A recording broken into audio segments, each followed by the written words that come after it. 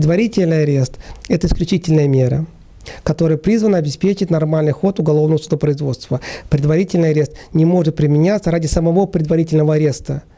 Эта мера не должна быть и не может быть самоцелью карательного характера в отношении человека. В данном случае, к сожалению, она есть. Я на каждом судебном заседании говорю, что предварительный арест должен быть не только законным, но и разумным. Сейчас, спустя почти 4 месяца, я говорю, что предварительный арест в отношении Михаила и Павла должен быть не только разумным и законным, но еще и гуманным, потому что люди томятся почти 4 месяца в сложных условиях, в прямом смысле слова, с крысами, с тараканами, которые стали постоянным спутником их жизни.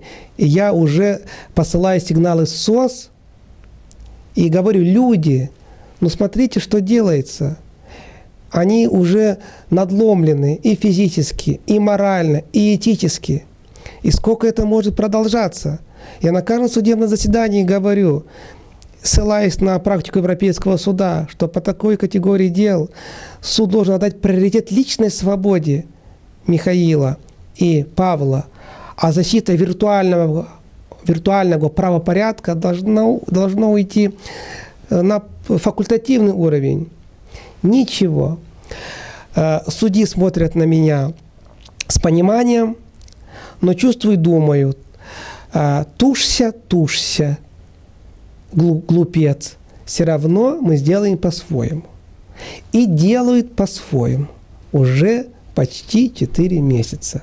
Они адвоката в этой истории превратили в статиста, который, по их мнению, должен являться для галочки, а все равно делают свое дело. Перед ними можно хоть лезгинку станцевать, вердикт у них не изменится. Поэтому я и говорю, что традиционные правовые рычаги давления не работают, дают сбои. Поэтому я считаю, что в этом смысле необходимо делать акцент на решение этого вопроса на дипломатическом и даже на политическом уровне. И и эти, если мы будем ставить акцент на эти направления работы, то это будет говорить о том, что правовые рычаги не работают, что суды не разбираются в этих вопросах, не хотят разобраться, они э, испытывают политическую чувствительность в этом вопросе, поэтому не могут беспристрастно и объективно э, разобраться в этом вопросе. Судья удаляется в совещательную комнату по закону, и должна, как правило, уже выйти с вердиктом. Совещательная комната – это святая святых любого суда. Там решается в четырех стенах судьба человека. Судья остается наедине с собой, наедине со своей совестью. И никто не вправе ее беспокоить. Что вы думаете? Судья Елена Карпенко удалила совещательную комнату, через минуту вышла оттуда без вердикта, когда рассматривался вопрос о продлении ареста Михаилу, с мобильным телефоном, двинулась по коридору, соприкасаясь, соприкасаясь с протестующими, с митингующими, с другими людьми. Дина с мобильным телефоном в неизвестном направлении, через пару минут она обратно вернулась в свой кабинет и начала уже готовить вердикт. Кому она звонила, с кем она советовалась, может, кто-то давал ей указания и так далее. То есть непонятно. Конечно, в экстремальных случаях закон не запрещает суде покидать совещательную комнату, но в таком громком деле – не просто резонансном, а чрезвычайно резонансном.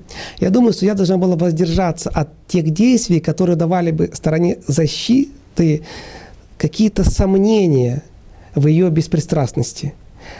В этом смысле э, от таких действий нужно было воздержаться. И даже вот в этом смысле могу привести воспоминания известного э, юриста, который практиковал еще в царской России, э, который вспоминает, что э, однажды, однажды слушалось дело, и он защищал э, одного клиента. И э, судья удалил совещательную комнату.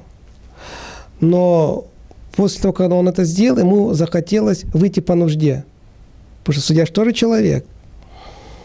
И этот судья посмотрел в окошко. А туалет был на улице. Нельзя было просто... И в кабинете, кабинет не был предназначен Не было. Надо было выйти на улицу. И судья понял, что он не может выйти на улицу, потому что там стоят родственники, адвокат, прокуроры. Он с ним будет соприкасаться. Кто-то что-то скажет, он кому-то что-то ответит. И может пострадать его судейская репутация. И он не, не вышел. Не вышел. И не сдержался. Он послал своего помощника домой, чтобы он принес ему чистые вещи переодеться. Вот что такое судейская этика, вот что такое быть до конца преданным своей профессии. К сожалению, к сожалению, э, на этом примере мы понимаем, как далека наша юстиция от тех стандартов, которые направо-налево мы пытаемся э, позиционировать как европейские, как высокие и так далее. Э, также я считаю, что нарушение Конституции и презумпции невиновности создают большую угрозу для правовой безопасности Республики Молдова и даже могут привести к распаду государства. Потому что когда не работают э, правые институты, экономика не работает, человек себя чувствует незащищенным. Ему легче пойти решать вопросы на каком-то неформальном уровне, в стиле 90-х, чем обратиться в суд и так далее. И эти, эти и другие моменты, они без привлечения вредят государству, говорят о его слабости и в конечном итоге ведут к его разрушению. Поэтому э, забота о правовой безопасности страны, забота о приоритете прав личности над интересами государства. Вот основа, которая должна быть поставлена во главу угла теми, кто сейчас находится у власти.